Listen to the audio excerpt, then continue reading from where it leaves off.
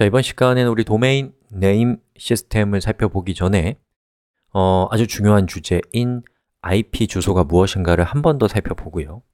그리고 여러분이 도메인을 직접 구현하는 것은 상당히 까다롭고 어려운 일이기 때문에 도메인에 대한 개념을 배우기 전에 여러분이 그 도메인 대신에 쓸 수 있는 방법, 아주 편리한 방법을 어, 일종의 그 준비 운동 차원에서 좀 살펴볼 겁니다 자, 여기 두 대의 컴퓨터가 있습니다.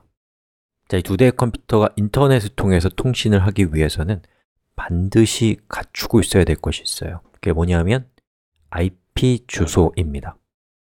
자, 왼쪽에 있는 컴퓨터가 클라이언트라고 하고 왼쪽에 있는 컴퓨터에 예를 들어서 웹브라우저에다가 93.184.21634라고 입력해서 오른쪽에 있는 컴퓨터를 서버로 접속하고자 한다면 이렇게 되겠죠 자, 클라이언트가 서버로 접속할 때는 서버의 IP를 알아야 됩니다 자, 그럼 저 서버는 어떤 방법을 이용해서 정보를 만든 다음에 그 결과를 응답하겠죠 누구에게요?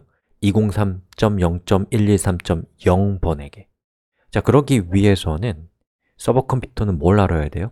클라이언트 컴퓨터의 IP를 알아야 됩니다 즉, 인터넷에 참여하는 모든 컴퓨터들은 어, 각자 IP 주소를 어, 가지고 있어야 된다라는 것이죠. 자, 이때에 인터넷에 연결되어 있는 컴퓨터들은 꼭 컴퓨터가 아니라 여러 가지 장치가 있을 수 있단 말이죠. 물론 그것들은 다 컴퓨터긴 합니다만. 자, 그래서 좀 더 포괄적으로는 각각의 인터넷에 연결된 컴퓨터들을 호스트라고 부릅니다. 호스트.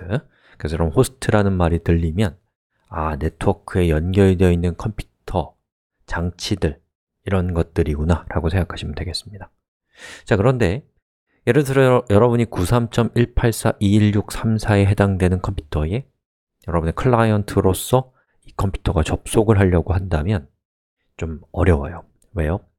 IP 주소는 기억하기 힘들단 말이죠 특히 저처럼 수가 약한 사람은 자, 그러면 뭘 하고 싶겠어요? 예를 들어서 example.com이라고 입력하고 엔터를 치면 여러분이 93.184.214.34로 접속하면 얼마나 좋을까요? 마치 여러분이 전화를 친구에게 할 때는 전화번호 부에 있는 이름을 통해서 하는 것과 마찬가지로요. 자, 그게 가능합니다. 여러분의 운영체제마다 그 위치는 다 다르지만 모든 운영체제에는 호스트라고 하는 파일이 있어요.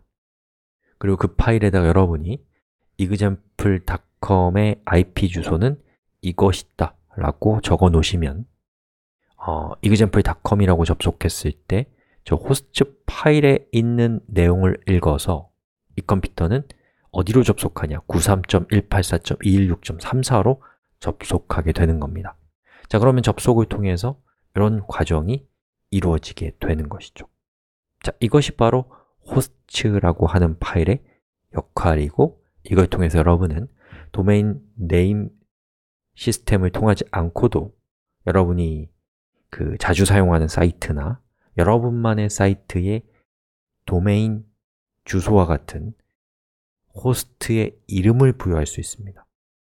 자, 그러면 어, 호스트라는 것이 무엇인지를 우리가 이번 시간에 살펴봤는데요. 다음 시간에 호스트 파일을 운영체제별로 변경해서 실제로 도메인을 바꾸는 모습을 한번 구경해 봅시다